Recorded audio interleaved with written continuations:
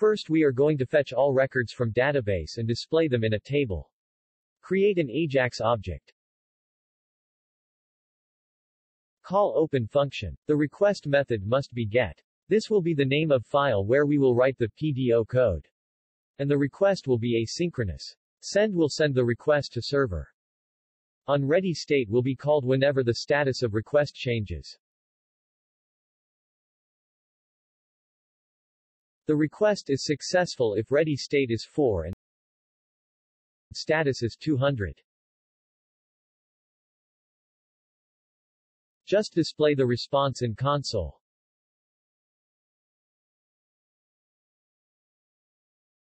Create a new file with this name.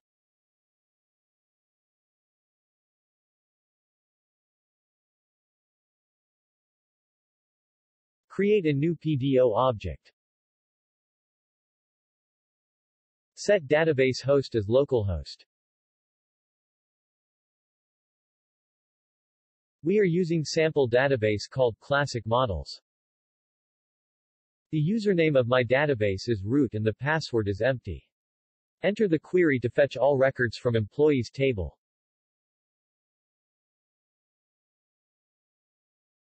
Call query function to execute the query and save its instance in result variable.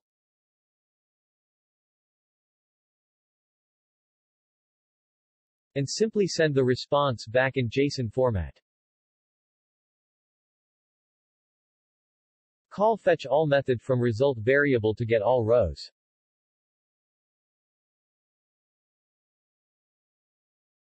So here they are displayed as JSON.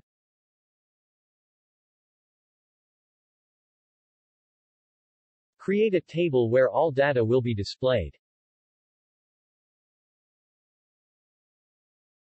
Give tbody a unique ID which will be used in JavaScript. First convert the JSON string in JavaScript objects.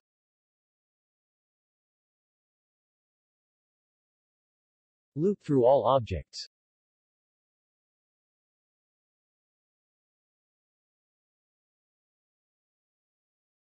Create a string variable to display rows.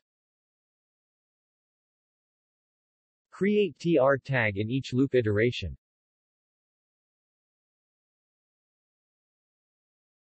First table data will be first name, here you can put your own values.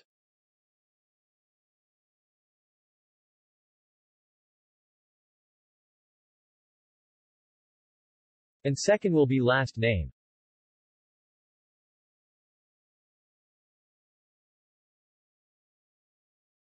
Finally we can append this HTML variable in tbody tag.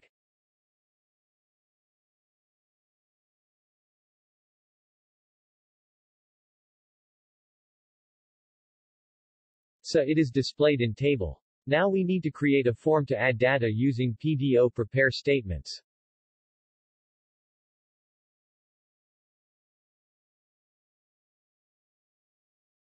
Create input fields. Here you will be using your own fields.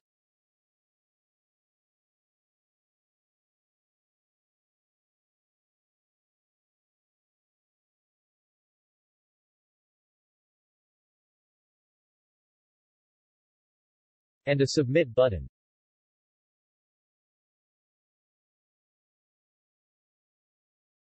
Add on submit event which will be called when this form submits.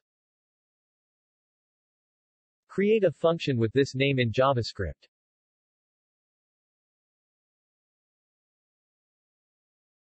Get all input fields values in separate variables.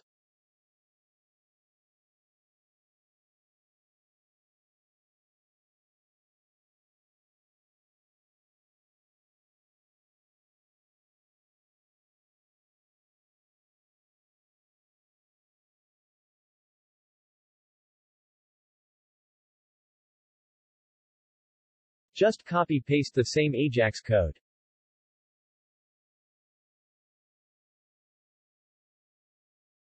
Close all braces.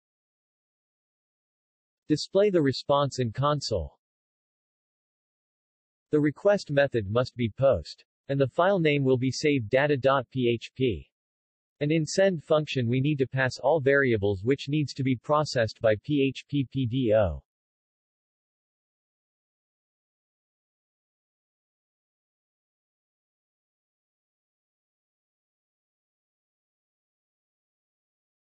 As the request method is post, so we also need to send a request header.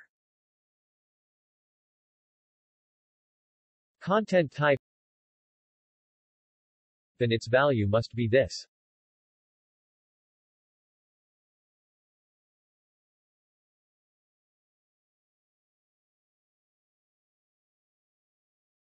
Create a new file named savedata.php. PDO connection will remain same. Replace this with insert query.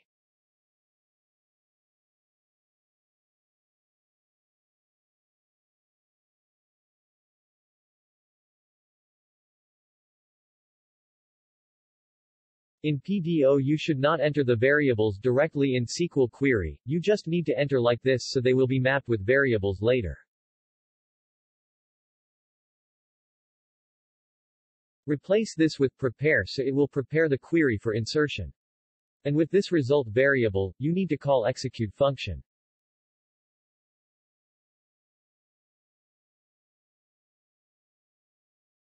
And in this array, you have to tell the mapping of above created strings with actual values.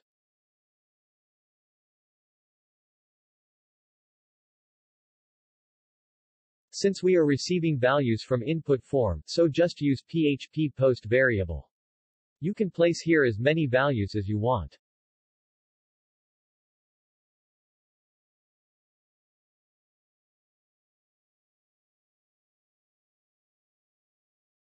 And simply echo the response as string. And to prevent the form from submitting, you need to return false at the end of function.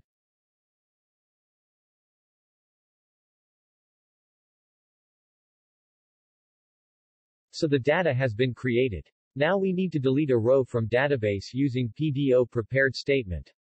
In your table, create another table data and place a button inside it.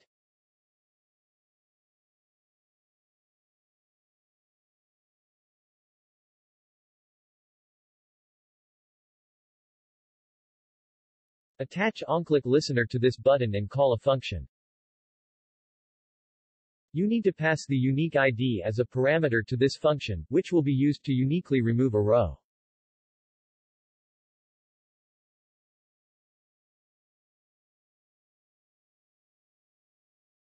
Here we are receiving unique ID in employee number, but you can place your own ID of course.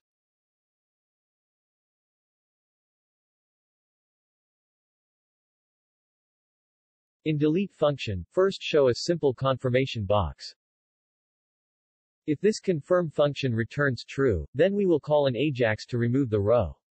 So just copy-paste the AJAX from add data function and place here. Just change the name of file. And we only need to send the ID in this request.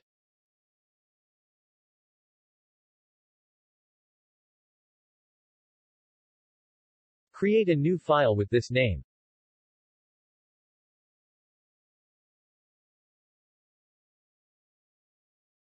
Change this query to delete query.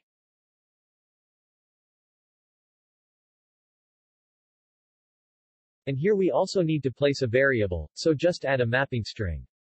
And here just use ID which is what we are sending in AJAX request. You can see it has placed an ID in JavaScript function.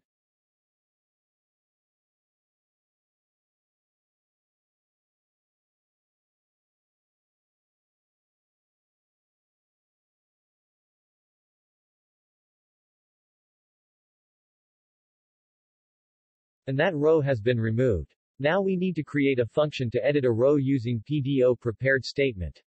First we need to show old values of selected row.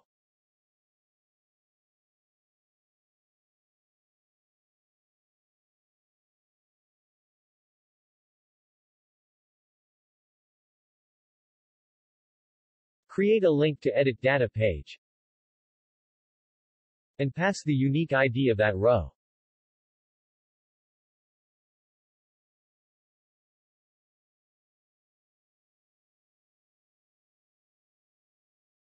Create a new file named edit.php. This table is not needed. First we need to get the data using that unique ID so we can populate it in form. The connection string will remain same.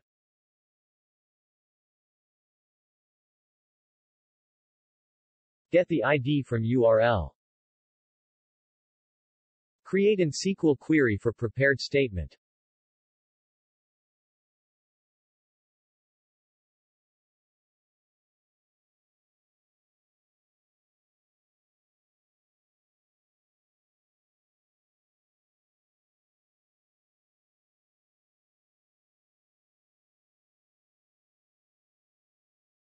and execute the query. Set the mapping of this ID with our ID variable value.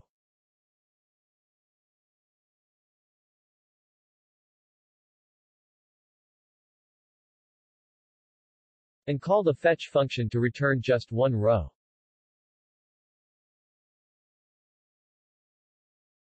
Just display it to see if we are getting correct values.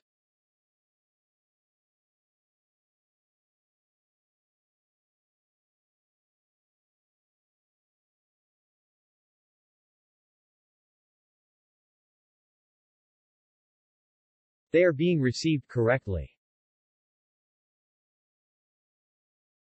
Replace this to edit data function.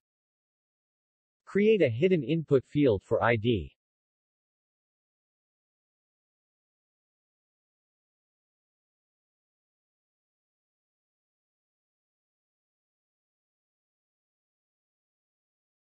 and set the value attribute to each input field.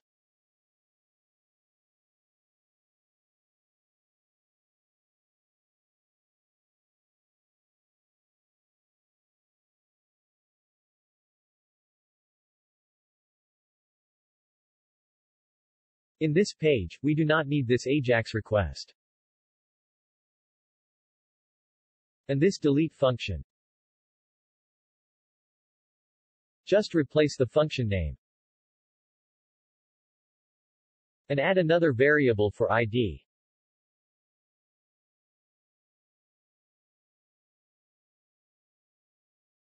And pass it an AJAX request too.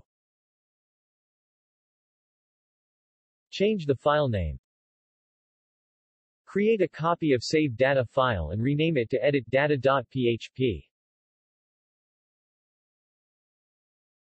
Change this query to update query. And wherever you need to place some variable, just write like this so they will be mapped later. This will prevent SQL injection in your website. And since we need to update only one row, so set the ID in where clause. And map that ID variable to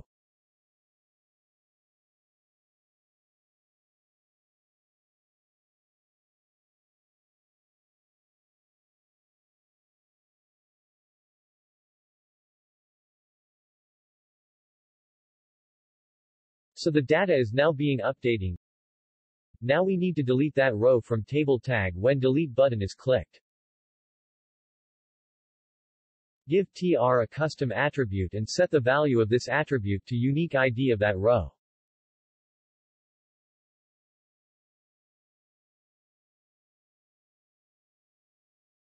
And in delete function, after the response is received, get the tr row using document.query selector.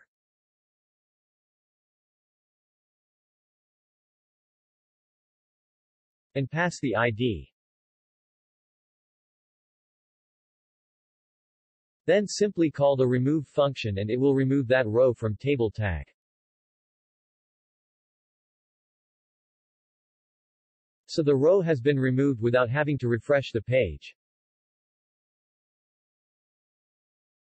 Similarly we also need to create a new row when new data has been entered via form.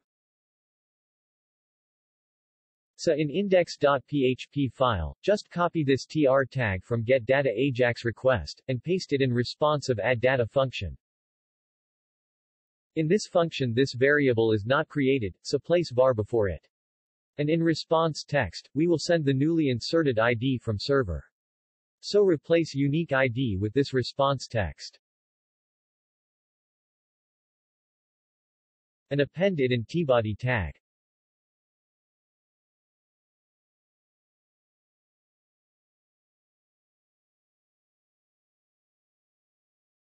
In savedata.php, use the PDO connection variable. And call last insert ID function, and it will return the unique ID of new row. And replace first name and last name variables with them.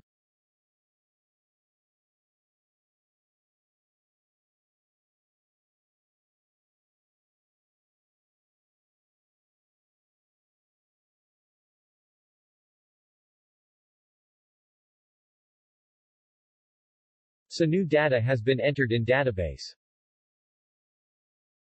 You can edit it. And deleting the data from database also deletes it from table row 2. So that was the complete CRUD operation using PDO prepared statement. If you face any problem, feel free to ask in the comments section below.